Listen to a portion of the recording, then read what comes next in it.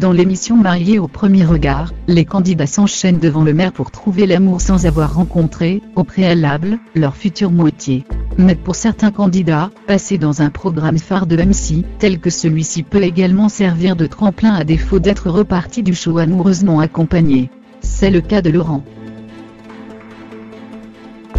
L'expérience n'aura pas été très concluante pour le séduisant brun, qui épousa Vicky il y a quelques mois sous l'œil des caméras.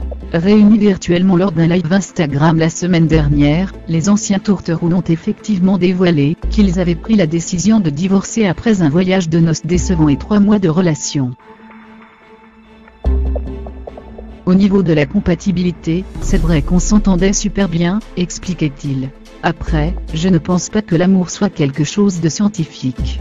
Ce que nous offre l'émission, ce sont les meilleures bases pour former un couple. Mais quand tu sens qu'aucun des deux n'a de sentiments, ça ne sert à rien de continuer. Auteur extrêmement sensible à l'image, Laurent aura toutefois l'occasion de prouver l'étendue de son charme au travers d'un tournant professionnel assez inattendu. Comme il l'a révélé sur son compte Instagram, il chante et propose même son titre, à Boy Andréam sur les différentes plateformes de téléchargement.